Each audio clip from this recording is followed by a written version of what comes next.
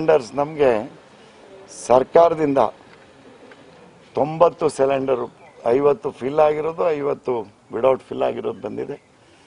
ಮತ್ತು ನಮ್ಮ ಪೂಜ್ಯ ಎಸ್ ಎಂ ಕೃಷ್ಣ ಸಾಹೇಬರು ನೂರು ಸಿಲಿಂಡರ್ನ ನಮಗೆ ಎಂ ಟಿ ಸಿಲಿಂಡರ್ನ, ಜಂಬೋ ಸಿಲಿಂಡರ್ನ ಕೊಟ್ಟಿದ್ದಂಥದ್ದು. ಅದರಲ್ಲಿ ಐವತ್ತು ಮುಂಚೆ ಬಂದಿತ್ತು, ಐವತ್ತು ಈ ದಿನ ಕಳಿಸ್ಕೊಟ್ಟಿದ್ದಾರೆ. ಅವರಿಗೆ ಅಭಿನಂದನೆ, ಧನ್ಯವಾದಗಳನ್ನು ನಾವು ಹೇಳಲಿಕ್ಕೆ ಬಯಸ್ತಾ ಇದ್ದೀವಿ.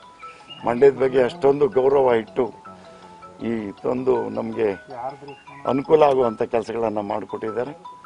ಅವರಿಗೆ ಮತ್ತೊಂದು ಸಾರಿ ನಾವು ಅಭಿನಂದನೆಯನ್ನು ಹೇಳಿಕ್ಕೆ ಬಯಸ್ತಾ ಇದ್ದೀನಿ. ನಾನೇನಿಲ್ಲ, ಡಿ ಕೆ ಶಿವಕುಮಾರ್ ಒಂದೇ ಮಾತು ಹೇಳಕ್ಕೆ ಬಯಸ್ತೀನಿ. ನಿಮ್ಮ ಸರ್ಕಾರ ಮಹಾರಾಷ್ಟ್ರದಲ್ಲಿದೆ. ಫಸ್ಟ್ ಅಲ್ಲೋಗಿ ನೀವು ವಿಸಿಟ್ ಮಾಡಿ ಬನ್ನಿ ಏನಾಗ್ತಾ ಇದೆ? ಅನಂತರ ಕರ್ನಾಟಕದ ಬಗ್ಗೆ ಮಾತಾಡಿ ಅಂತ ಹೇಳಿಕ್ಕೆ ಬಯಸ್ತಾ.